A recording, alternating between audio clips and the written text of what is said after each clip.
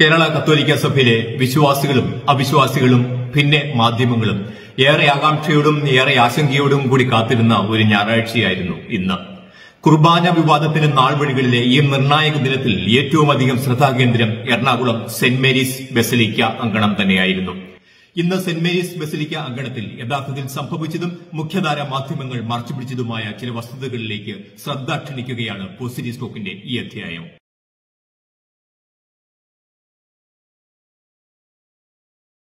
ഇന്ന് saint Mary's basilica ദേവാലയത്തിൽ ഇടവകക്കാർക്കായി ഒൻപതരയ്ക്ക് ഏകീകൃത കുർബാന ഉണ്ടായിരിക്കും എന്ന വികാരിയുടെ അറിയിപ്പിൻ പ്രകാരം ദേവാലയത്തിൽ എത്തിയത് മൂന്ന് ഗണത്തിൽപ്പെട്ട ജനങ്ങളായിരുന്നു. ഒന്ന് ദേവാലയമുറ്റത്ത് ഒരു കലാപം പ്രതീക്ഷിച്ചെത്തിയ മാധ്യമ പ്രതിനിധികൾ.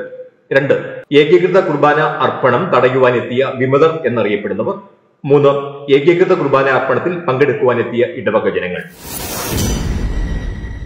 മാധ്യമങ്ങളിൽ നിന്ന് ആരംഭിക്കാം. കുർബാന വിവാദത്തിലെ മാധ്യമ നിലപാടുകൾ. വല്ലാത്ത ഒരു ആവശ്യത്തോടും ആരെയൊക്കെയോ തൃപ്തിപ്പെടുത്തണം എന്നുള്ള ശരീരഭാഷയോടും സെന്റ് മേരീസ് ദേവാലയത്തിലേക്ക് ഓടിയെത്തുന്ന മാധ്യമങ്ങൾ ഇന്നും വലിയ പ്രതീക്ഷയോടെ സമയത്തിനു മുമ്പേ ദേവാലയ അങ്കണത്തിലെത്തി സെന്റ് മേരീസ് ദേവാലയ അങ്കണം ഒരു നിരന്തര കലാപഭൂമിയാണ് എന്നും അവിടെ നിന്ന് ഉയരുന്ന വെല്ലുവിളികളും മുദ്രാവാക്യങ്ങളും ഒരു ന്യൂനപക്ഷത്തിന്റേതല്ല മഹാഭൂരിപക്ഷത്തിന്റേതാണ് എന്നും വരുത്തി തീർക്കുവാനുള്ള വ്യഗ്രത മാധ്യമ സമീപനത്തിൽ വളരെ പ്രകടമാണ്. ക്ലോസപ്പ് ഷോട്ടുകൾ കൊണ്ട് അവർ ഒരു ചെറിയ ആൾക്കൂട്ടത്തെ ഒരു ജനസമുദ്രമാക്കും. ഒരു ന്യൂനപക്ഷത്തിന്റെ ആഘോഷങ്ങൾക്കും വെല്ലുവിളികൾക്കും അവർ ഒരു ആഗോള പരിവേഷം നൽകും.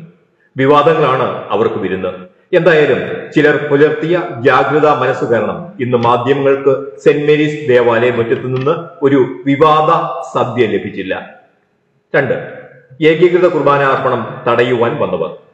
അൻപതിൽ താഴെ വരുന്ന ഒരു ചെറു സമൂഹമാണ് ഇന്ന് ദേവാലയാങ്കണത്തിൽ ഏകീകൃത കുർബാന എന്ത് വില കൊടുത്തും തടയണം എന്ന ദൃഢനിശ്ചയവുമായി എത്തിയത്. ദേവാലയമറ്റത്തെ സമരപ്പന്തലിൽ നിന്നും ഒൻപത് മണി കഴിഞ്ഞപ്പോഴേക്കും ദേവാലയ വാതിൽക്കലേക്ക് അവർ താവളം മാറ്റി. വെല്ലുവിളികളും മുദ്രാവാക്യങ്ങളും ആക്രോശങ്ങളും ആഘോഷങ്ങളും പരിഹാസങ്ങളും അന്തരീക്ഷത്തിൽ ഉയർത്തിക്കൊണ്ട് അവർ നിറഞ്ഞാടാൻ തുടങ്ങിയപ്പോഴേക്കും ആവേശത്തോടെ മാധ്യമങ്ങളും ഓടിയെടുത്തു. ക്യാമറകൾക്ക് മുമ്പിൽ സമരത്തിന്റെ ഭാവം മാറി സമരത്തിന്റെ രൂപം മാറി.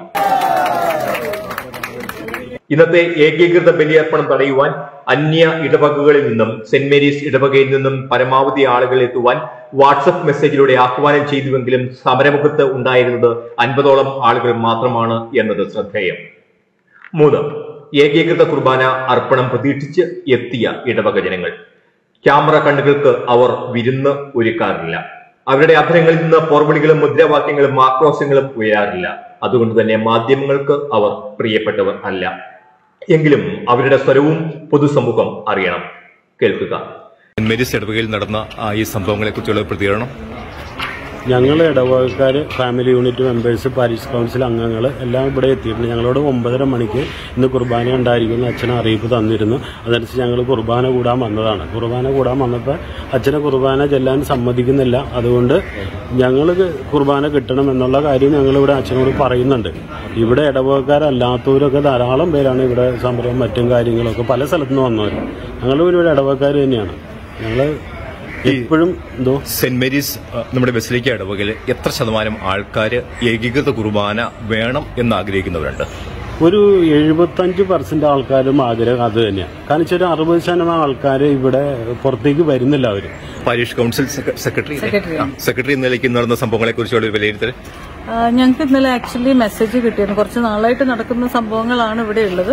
എന്നാൽ സഭ എന്ത് പറയുന്നു അത് അനുസരണത്തോടെ ഞങ്ങൾക്ക് കേൾക്കുക എന്നുള്ളതാണ് ഞങ്ങളെ പഠിപ്പിച്ചിരിക്കുന്നത് ഞങ്ങളുടെ ആൻസിസ്റ്റേഴ്സ് ഞങ്ങളെ പഠിപ്പിച്ചിരിക്കുന്നത്. ആ പ്രകാരം കുർബാന കൂടാൻ വന്ന ആൾക്കാരാണ്. ഭൂരിഭാഗം ഇന്ന് ഈ ചർച്ചിന്റെ ഉള്ളിൽ കിടക്കാൻ പറ്റാതെ പോയി തിരിച്ചു വീട്ടിലേക്ക് പോയിരിക്കുന്ന ആൾക്കാർ കിടക്കാൻ പറ്റിയ കുറച്ച് പേരാണ് ഞങ്ങൾ ഇവിടെ കൂടിയിരിക്കുന്നത്. ഞങ്ങളൊരു മെമ്മോറാണ്ടം അച്ഛൻ എഴുതി കൊടുത്തിട്ടുണ്ട്. ഞങ്ങളുടെ വിഷമം ഞങ്ങൾ അറിയിച്ചതുകൊണ്ട് അറിയിച്ചുകൊണ്ട് ഞങ്ങൾക്ക് സഭ ഏത് കുർബാന അനുശാസിക്കുന്നോ അത് ഞങ്ങൾക്ക് കിട്ടണം എന്നുള്ളതാണ്. As of now synod Qurbana അത് ഞങ്ങൾക്ക് വേണം. അത് കിട്ടാതെ ഞങ്ങൾ ആക്ച്വലി ദുഃഖത്തോടെയാണ് ഇന്ന് ഞങ്ങൾ ഇവിടുന്ന് മടങ്ങുന്നത്. ഇപ്പം പറഞ്ഞ പോലെ ഞങ്ങൾ പാരമ്പര്യമായിട്ടുള്ള ഈ സിനഡിനെയും അതായത് റോം റോം റോമിലെ പിതാവിനെയും അനുസരിച്ചുള്ള മുന്നോട്ട് പോകാനാണ് ഞങ്ങൾക്ക് കൂടുതൽ താല്പര്യപ്പെടുന്നത്. അതനുസരിച്ചുള്ള കുടുംബാംഗങ്ങളാണ് ഇവിടെ എത്തിച്ചേരുന്നത്. അപ്പോൾ ഞങ്ങൾക്ക് ഇന്ന് ഇവിടെ വന്നിട്ട് ഞങ്ങൾ കുർബാന കാണാൻ പറ്റാത്ത രീതിയിൽ വളരെ വിഷമമുണ്ട്. ഞങ്ങൾ വളരെയധികം സങ്കടത്തോടെ ഇന്ന് ഇവിടുന്ന് പോകുന്നത്. ഞങ്ങളൊരു മെമ്മോറണ്ട് ഇവിടെ അച്ഛന് കൊടുത്തിട്ടുണ്ട്. അത് ഈ മെമ്മോറണ്ടത്തിൽ അതായത് ഇവിടെ വന്നതിൽ ഒരു സെവന്റി പെർസെന്റ് ആൾക്കാർ പുറത്ത് ഒന്ന് കാണാൻ പറ്റാതെ ഒപ്പിടാൻ പറ്റാതെ പോയിരിക്കുന്നത്. ബാക്കിയുള്ള തേർട്ടി പെർസെന്റ് ആൾക്കാരാണ് ഇവിടെ അച്ഛനെ ഈ മെമ്മോറണ്ടം കൊടുത്തിരിക്കുന്നത്.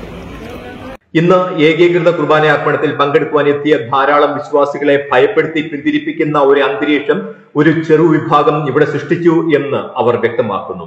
ഇവരുടെ നിരീക്ഷണ പ്രകാരം ഇന്ന് ദേവാലയാങ്കണത്തിൽ സമരസ്വരവുമായി എത്തിയ ഈ ചെറു വിഭാഗത്തിൽ മഹാഭൂരിപക്ഷവും ഈ ഇടവകയിൽ പെട്ടവരല്ല എന്നും അവരുടെ പ്രാർത്ഥനകൾക്കും മുദ്രാവാക്യങ്ങൾക്കും ചില നിഗൂഢ ലക്ഷ്യങ്ങളുണ്ട് എന്നും അവർ സാക്ഷ്യപ്പെടുത്തി.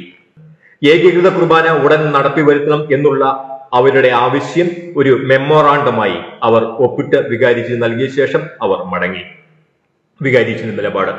ഒരു സംഘർഷ സാധ്യത മുമ്പിൽ കണ്ടുകൊണ്ട് കുർബാന അർപ്പണം ഉപേക്ഷിച്ച വികാരിയച്ചൻ മാധ്യമ പ്രവർത്തകരുടെ ചോദ്യങ്ങൾക്ക് കൃത്യമായി മറുപടി പറഞ്ഞു. ഏകീകൃത കുർബാന അർപ്പണം സാധ്യമാകുന്ന ഒരു സമാധാന അന്തരീക്ഷം സംജാതമാകുന്നതുവരെ ഇവിടെ കുർബാന അർപ്പണം ഉണ്ടായിരിക്കുകയില്ല എന്നും അദ്ദേഹം കൂട്ടിച്ചേർത്തു. നന്ദി.